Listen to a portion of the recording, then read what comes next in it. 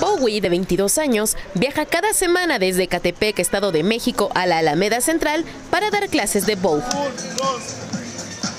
Al la Alameda es muy es una experiencia muy fuerte. En realidad aquí compartimos como el espacio con varias personas. Están desde las personas que bailan eh, en el sonidero, hay personas que patinan aquí, que hacen como patinaje artístico.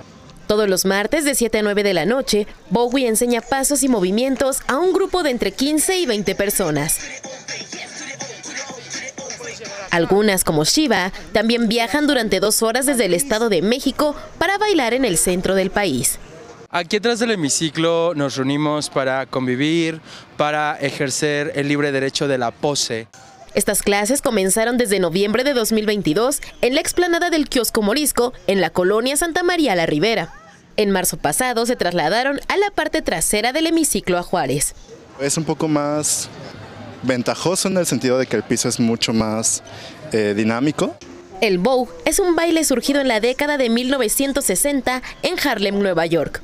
Popularizado por Madonna en 1990, el bow es parte de la cultura ballroom, creada por personas afrodescendientes de la diversidad sexual. El ballroom va más allá de, la danza, también el ballroom es este, convivir, para ellas y ellos, bailar Vogue en la Alameda Central significa hacer visible esta cultura y su historia.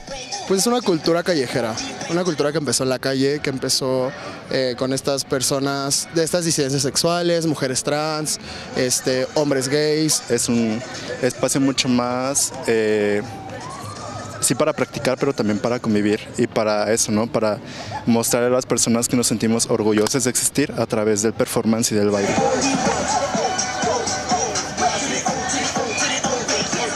Con información de Aranza Flores, Noticias NMAS.